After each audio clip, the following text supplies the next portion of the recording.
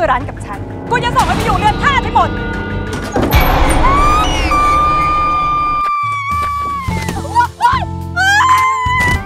เอากำปั่นไปไว้ที่เรือนธาตุนั่นแหละ มันไม่มีใครกล้าไปที่เรือนนั้น เพราะผีอิมลิกมันเฮี้ยน